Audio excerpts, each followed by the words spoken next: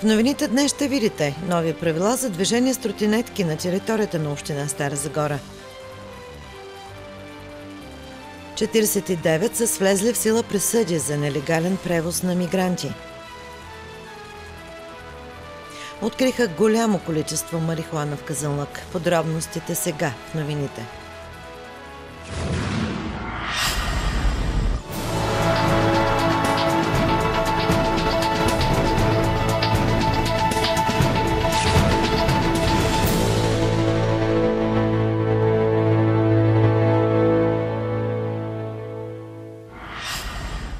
Добър вечер, това са новините днес на телевизия Загора. Проект на наредба за изменение и допълнение на наредбата за обществения ред при използване на превозни средства и общи площи на територията на Стара Загора.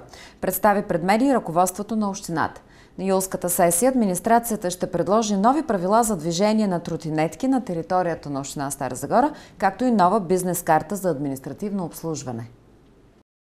На редовната сесия на Общински съвет Стара Загора администрацията ще предложи нов проект на наредба за обществения ред при използване на превозни средства.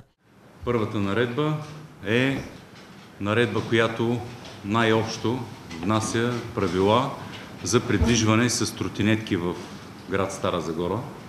Нещо, което отдавна чакат хората в града, тъй като получаваме непрекъснато сигнали за опасно предвиждащи се с тротинетки най-вече деца, също тинейджери и с тази наредба реално се определят нови правила и ред, по който да се придвижват хората с това превозно средство, тъй като закона знаете, че е в голяма степен доста ограничен по отношение на правилата, които се създават. Затова счетохме за необходимо да внесем такава наредба в Общинския съвет и да регулираме този тип на придвижване в града.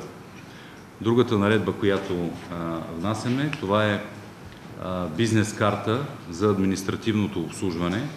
С тази бизнес карта ще улесним съответните инвеститори в Община Стара Загора, като им се показва пътя, по който трябва да минат и така предварително ще знаят от какви документи се нуждаят, съответно към кого трябва конкретно да се обърнат, за да може а, да се а, случат по-бързо техните намерения. Какви ще са новите правила за движение, паркиране и скорост на тротинетките на територията на цялата община? Те са именно, да кажем, пет основни промени в нормативната уредба, касаещи а, придвижването с а, тротинетки. А, първата, първият основен текст е вече въвеждаме а, забрана да не се превишава 20 км при движение с а, тротинетките в, а, на територията на община Стара Загора. А, друго... Само на цялата територия. Създава се нов текст, с който се забранява да се управляват тротинетки по тротуарни площи и всички населени места, велалей и други, с изключение там, където има, по-точно извинявам се, пешеходни зони, единствено ще бъде разрешено движението на тротинетки по велалеите.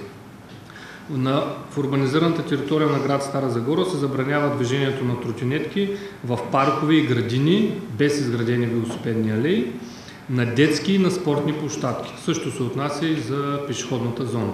В пешеходната зона вел, а, тротинетки ще могат да се предвижват само по изградените велоалеи.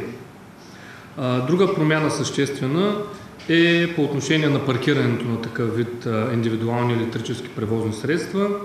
Те трябва да се паркират извън границите на платното на движение или извън границите на велосипедната алея и с заповед на кмета на общината, след становище на нашата комисия по безопасност на движение, ще определим и специални обособени места за паркиране на такъв вид превозни средства като те трябва да паркират по начин, по който да не затраняват предвижването. Ще има такъв забранителен състав също и ще се наказват а, собственици или водачи на тротинетки, които паркират по начин, който да създават затруднения на преминаване на пешеходци.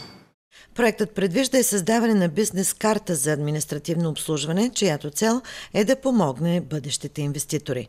Другата тема, за която исках да, искам да ви запознаем, това са всъщност вътрешните правила, които ще предложим на Общински съвет да гласува, свързани с стимулирането на инвеститорите в новите инвеститори в Стара Загора или така наречената бизнес карта.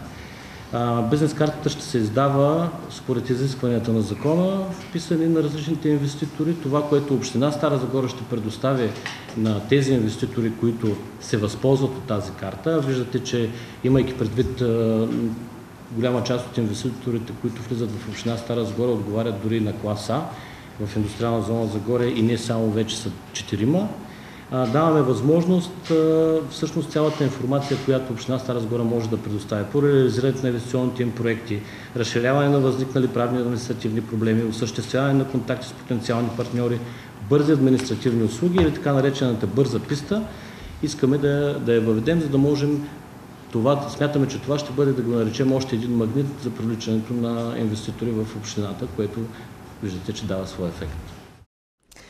Проектът на ВИК Стара Загора е в финалната си фаза, за това информират от дружеството. Цялостните дейности по проекта се очаква да приключат до края на тази година.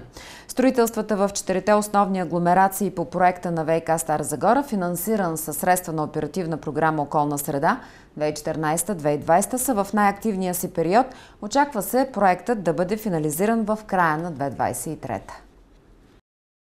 Стара Загора се реконструира водопроводната и канализационната мрежа по обект 1 южна част на града и западните квартали и по обект 2 централна и северна част на града. По обект 1 се изпълниха новите канализационни колектори по улица Генерал Гурко и боливар Славянски на изток около бензоностанция Шел – Остава да се реконструира колекторът по боливар Славянски около автогарата, както и няколко канализационни клона в централната градска част. Колекторите ще подобрят отводняването на южната част на града. Извършва се реконструкция на водопроводните мрежи на едни от големите квартали в града, Тричачура, Юг и Казански. Част от възстановяването е и водопроводът по улица Братя Жекови. Подменят се и водопроводни мрежи в квартал Тричачура център и централна градска част. Продължава работата и по обект 2 завършиха монтажни дейности по канализационния колектор през парк Зеления клин, по време на които бяха разкрити археологически артефакти и съоръжения с значителна историческа стойност. От този колектор остава да се строи частта му по улица Бороиград в участъка от булевард Патриарх Евтими до булевард Руски, както и отливният му канал на изток от кръговото на Кауфланд до река Бедечка. Антични гробни съоръжения също така са разкрити и при изкупните работи за отливния канал, което се отразява на темповете на строителния процес, информират от дружеството. Ход е изграждането на пет канализационни клона в северната част на града, като още толкова остават за доизграждане. По водопроводната мрежа на обект 2 се подменят около 30 км, което е 80% от всички предвидени за обекта. Работи се едновременно във всичко зони, като поетапно се прехвърлят сградите водопроводни отклонения на новите мрежи, изключват се старите водопроводи и се възстановяват тротуарните и улични настилки. Психиатрията в Раднево все още е без охрана след нападението от пациент. Болницата няма охрана близо 20 години. Поради административен натиск и други причини, част от персонала в Държавната психиатрична болница в Раднево са се отказали от молбите си за напускане, коментира пред БНР Иван Добринов, началник на 6-то мъжко отделение в лечебното заведение. Повод за масовото подаване на оставки в лечебното заведение стана поредно нападение на надрусан пациент над персонала, тъй като охраната липсва. Това информира преди дни доктор Иван Добринов ефира на телевизия Загора. И до момента не са взети реални мерки за охрана на работещите в болницата, коментира доктор Добринов. Той допълни, че през годините зачастяват посегателствата срещу персонала и ликуваните в заведението. Повече от 15 или 20 години няма охрана в болницата. До сега от Министерство на здравеопазването няма официално становище по темата, единствено се набира информация. От директора на болницата е пратена заявка за повече щатни бройки за санитари, вероятно и за охрана, но официално становище няма, каза доктор Добринов. Той припомни, че в 6-то мъжко отделение, в което се лекуват алкохолни и наркотични зависимости, се приемат едни от най-тежките случаи от цяла България, включително криминални криминално проявени и с решение на съда по Закона за здравето или по наказателния кодекс. 49 обвиняеми са осъдени от началото на годината до 30 юни за подпомагане на мигранти незаконно да преминат през страната по досъдебни производства на района прокуратура Стара Загора. Те са влезли в сила присъда.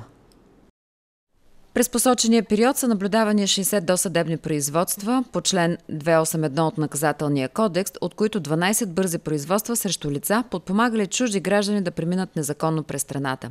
Напоследък често извършителите на така нареченото каналджийство са чужди граждани, които са с намерение да спечелят пари от такава дейност и в последствие да се укрият от наказателно преследване. Района прокуратура Стара Загора противодейства на тези опити чрез провеждане на бързи разследвания, изнасяне в съда на искания за вземане на на мярка за неотклонение, задържане под стража. Подходът ни по тези разследвания е успешен, тъй като имаме не малко. 10 производства, приключили до 7 дни от извършване на престъплението до налагане на наказанието, съобщиха от района прокуратура Стара Загора. Служители на районно управление Казанлък установиха голямо количество насъждения канабис и подготвено помещение за отглеждане. Двама мъже са задържани за срок до 24 часа. Вижте още. На 7 юли от криминалисти от районно управление Казанлък е извършена проверка на местно землището на Казанлък, където са установени 60 растения от рода на конопа, за които се полагат грижи, като 35 от растенията с височина около метър и половина. В хода на проверените оперативно-издървателни мероприятия са установени двама криминално проявени мъже на 34 и 30 години, са причастни към случая. Растенията били засяти в близост до имота на 34 годишния. Там е намерено помещение, обособено за отглеждане на растения, като вход Входът е бил замаскиран. Общото тегло на листната маса е около 30 кг. Двамата мъже са били задържани за срок до 24 часа. В районно управление Казанлък е образувано досъдебно производство. Работата по случая продължава под надзора на районна прокуратура Стара Загора. Над 2700 моторни превозни средства са проверени в рамките на полицейска операция на територията на областната дирекция. Съставени са 825 фиша и 238 акта за установени административни нарушения. Акцент в акцията е недопускане на управление от водачи, употребили алкохол и наркотици. Установени са 11 неправоспособни водачи и 1017 нарушения на скоростните режими. От Социалното министерство обясняват кой има право на помощи за отопление. Помощта вече е 546 лева. Да се възползват от нея имат право 370 хиляди души. По-голям е броят на хората, които ще се възползват от помощта в сравнение с миналата година, съобщиха от Министерство на труда и социалната политика. Разширяването на обхвата на програмата за целево енергийно подпомагане на Министерството е в резултат на направените промени, които улесняват достъп от подкрепа на хора от уязвимите групи. Помощта за отопление за целия предстоящ зимен сезон 1 ноември 2023-31 март 2024 ще е 546 лева, което е с 4,47% повече в сравнение с миналата година. Повишението е съобразено с решението на Комисията за енергийно и водно регулиране за цените на електроенергията за бита от 1 юли. Увеличението на пенсиите също с 12% няма да лиши пенсионерите от помощи за отопление. Заявленията за помощта се подават от 1 юли до 31 октомври дирекциите социално подпомагане лично от заявителя. Целевата помощ за отопление се отпуска, ако лицата или семействата отговарят на определени критерии, които са публикувани на сайта на Министерството. От 17 юли Държавен фонд Земеделие, разплащателна агенция, отваря приема по интервенциите в сектор пчеларство за 2023 Приемът ще продължи до 26 юли. За тази година финансовият ресурс по интервенциите е в размер на над 10 милиона лева.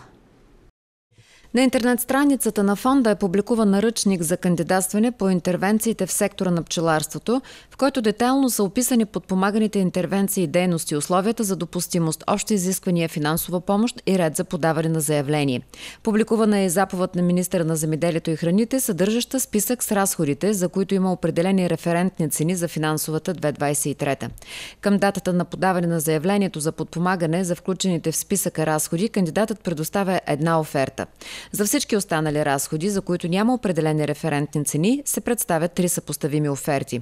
Фонда напомня на кандидатите, че с промяната в закона за подпомагане на земеделските производители от 1 януари 2023 всички земеделски стопани, които искат да подадат заявление за подпомагане, следва да имат регистрация в системата за електронни услуги. Това са новините днес. Повече на сайта ни. От нас приятна и спокойна вечер.